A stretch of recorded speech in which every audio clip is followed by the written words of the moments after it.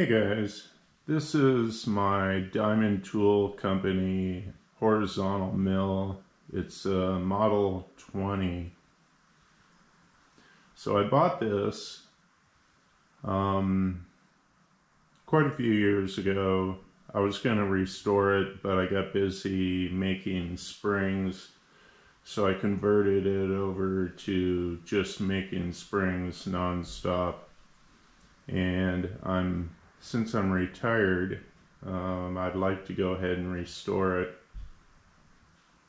So I'm going to go over everything on the machine, let you guys see what you think, and uh, if you guys have any uh, suggestions, I'd thoroughly welcome. Anything you got. Thanks. Here's a uh, shot of the machine tag, Model 20, serial number I don't know what that is. First off, it's got the original base, which makes it pretty nice.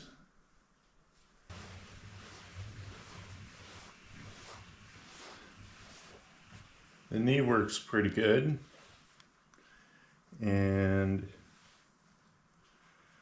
there's pretty much no slack in it, maybe a thousandth or so.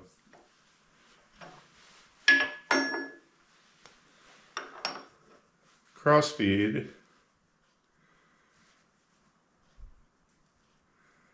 I've got about six thousandths on that and it seems to work pretty good. It's a little bit beat up, not too bad. Could be worse.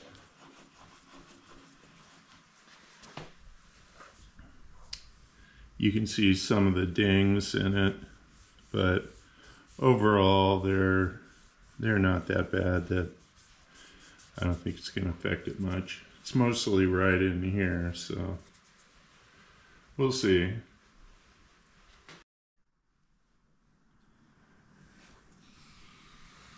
The uh, tabletop looks pretty rough. It's got lots of little dings.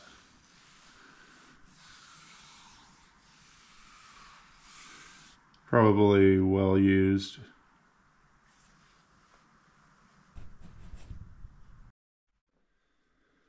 Okay, the, the table feels okay, except there's a real tight spot. That's right. Oh, maybe it's the other way. Okay, so the table has one tight spot and it's right there. It just locks up. And I'm not going to try pushing it through. So and then the uh, the handle actually literally goes what's that a hundred seventy thousandths play on the handle that's a lot of distance. So I'll have to take that apart and see what's going on there.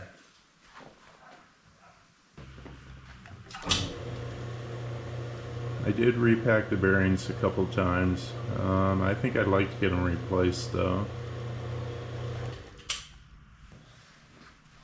Has the overarm, the original chrome nuts, and I've got the Arbor Steadies, which I've got the little short one, then I've got the big one that comes down here onto the knee.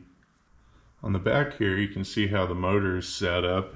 It's basically just sitting on this bolt and it's pivoting for tension. And obviously it's not the original motor and it's got, I think it's a 10 to 1 gear drive or gear reduction and all this I'd like to get rid of, um, put it back to normal the way it was supposed to be. Unfortunately, I don't have the original two-step pulley or the two-step pulley for the motor. So if any of you guys have any uh, recommendations on the two-step pulley, especially if you know what size it was, including the original two-step pulley on the motor. Um, I'd be interested in knowing that. And it has the original motor adjustment here, which works fine. All right, I got, um, I think it's 215 cutters, and they're in all different sizes. And a lot of them have been reground to a different shape. You see this one's got like an angle on the side. Just, you know, it kind of, kind of ruins them. But some of them are, uh, let's get some nicks out of it. Huh. See that one, they put a, they grooved it. That one feels sharp.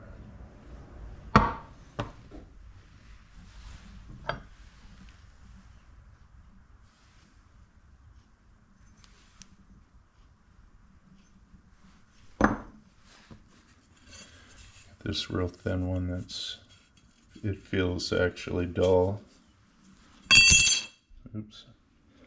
So I did get a lot of these real thin ones. Um, 810 and 12 thousandths thick. And I don't know I think I got about 20 of those.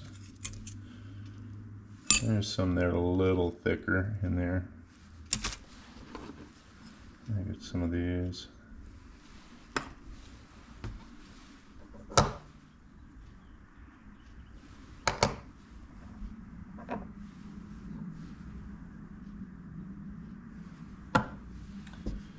Okay, let's go over here. This is the extra handle I got. Not sure what I'll do with it because I have no idea why I have two of those. So I got both of these supports and five mandrels. One of them is destroyed. You can see it's like really bad. So I guess I won't be using that one.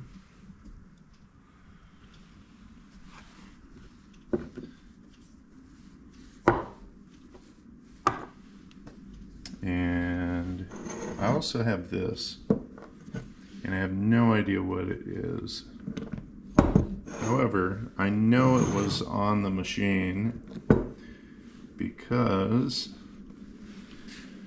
I set it on the machine and this was just loose enough to slip on. So I'm pretty sure it was on there for something. Hey, if you know what it is, this top piece moves a little. And then it's got the screw adjustment but it doesn't do anything it just goes in and out. So if you got any idea on that? Let me know. Alright guys that's it for uh, today. Uh, thanks for tuning in. And if you got anything out of this or you didn't, go ahead and give me a, a thumbs up and uh, feel free to subscribe.